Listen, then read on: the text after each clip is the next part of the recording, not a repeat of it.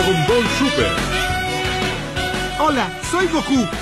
¿Ustedes pertenecen al universo de Jiren?